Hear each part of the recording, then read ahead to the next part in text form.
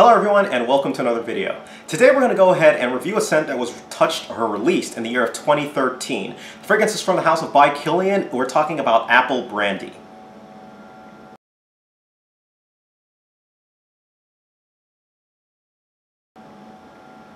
Now Apple Brandy was a fragrance, I actually smelled it right before it was released. I happened to be at the Kilian store and there was uh, basically some mix-up that allowed me to go ahead and smell the scent. Um, it kind of fell off my radar after that, but I decided to go ahead and pick up the review and start uh, doing the full review, and here we are.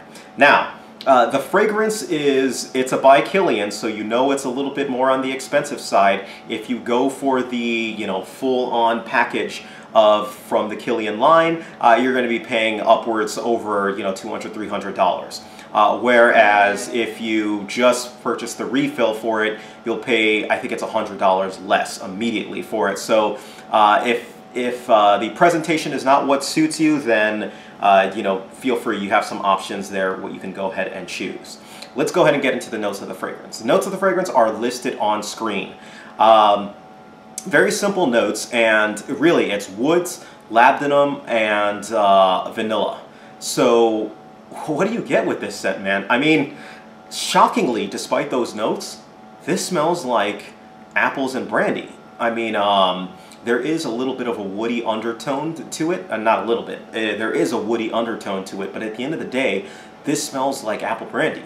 Um, the way that they did it, and I'm, this scent made me so curious just because I could swear, yeah, I can smell the labdanum, I can swear I can smell the, the cedar, the oak, uh, the vanilla, but the way that it combines, you know, to give you apple brandy, to me is either they just didn't tell the truth about the notes or you know, the way that they mixed it is just magical. So I'm not going to cast any aspersions or anything like that and besmirch anyone or, you know, be rude or anything like that, but I just think it's fascinating at that.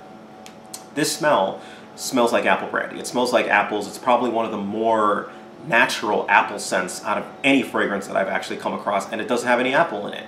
Um, the brandy smell is definitely there, so it's like a boozy, appley type of a vibe is really what you're getting from this scent, which does smell really good. Now, sometimes if you spray a little bit too much on, I go about two, three sprays on it. If you spray more than that, it can get cloying and it can get sickeningly sweet, if you will. Uh, it's a good fragrance for the club. It's a good fragrance for a night out. It's a really sensual scent in that. Um, the one danger is that it smells so close to apple brandy it might smell that you spilled some on you. But at the end of the day, it is actually a really nice scent. Um, I did not get any compliments on this fragrance. I think it'll be actually a decent compliment getter. Um, it really depends on who you're with. If I, I, think this is a good scent for any you know time of the year. Uh, it has decent performance. I'm talking about six hours performance, uh, and then it begins to fall off and become more of a little bit of a woody scent. Um, any age group can go ahead and pull this one off, though I think a little bit, it's a little bit more suited toward uh, people who are a little bit of the mature age. All right? So, if I'm going to go ahead and give this scent a rating, I give this scent a rating 3 out of 5 stars. Now, my main big gripe with this scent is it's you know when you're actually going to wear it. I actually love this scent in terms of the actual scent itself and despite the fact that I'm giving it 3 out of 5 stars, this will probably sit a little higher in my hierarchy. Like in my personal you know scent realm it'll probably be a 3.5 or a 4 out of 5 stars but as for, for the purpose of a review uh, I think it does uh, kind of one it's a little bit expensive for that um, tone. Two, on the positive side, it is, an, it is a very uh, close to apple brandy smelling scent. On the negative side, most people I think that I come across may not want to necessarily smell like apple brandy. But if you're a fan of apples, check this one out because it does have one of the more natural smelling scents of apples that I've ever come across, which is fantastic. And if you're a fan of boozy scents, go ahead and check this one out.